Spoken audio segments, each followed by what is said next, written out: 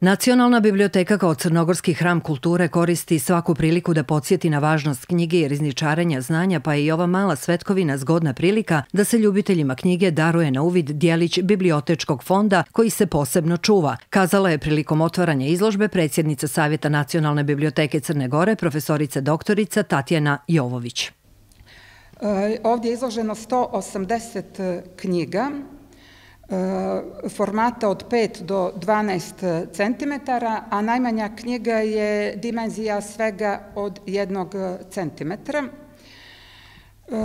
ovdje se nalaze razna religiozna dijela, Kuran, Biblija, molitvenici, zatim ima jako mnogo beletristike, Također različite književne vrste su zastupljene. Među crnogorskim autorima dominiraju pripadnici dinastije Petrović. Zatim imamo različite knjige za djecu, a prisutna je i literatura u kojoj je odražena politička i kulturna istorija Crne Gore i Jugoslavije.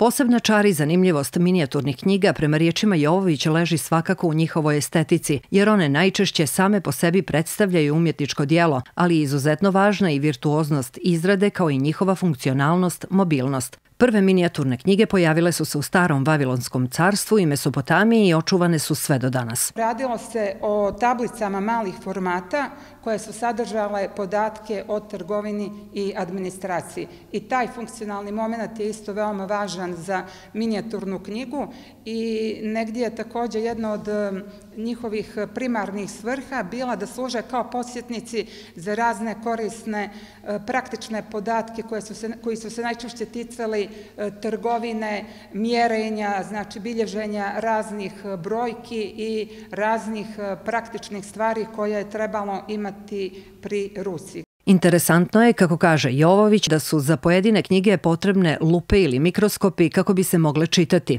Prvo štampano dijelo datira čak iz 770. godine prije nove ere. Prvo štampano dijelo na papiru u svijetu također je minijatura i veoma interesantna priča koja se toga tiče. Radi se o jednom malom pergamentu koji datira iz 770. godine prije nove ere i koji je poznat pod nazivom molitva Dharani. Taj pergament je napravljen za japansku caricu u Šotoku sa ciljem da se širi budizam. Minijaturne knjige izložene u biblioteci su na raznim jezicima, crnogorskom, srpskom, makedonskom, slovenačkom, mađarskom, engleskom i drugim jezicima. Moderatorka večeri bila je više bibliotekarka Slađana Sjekloća.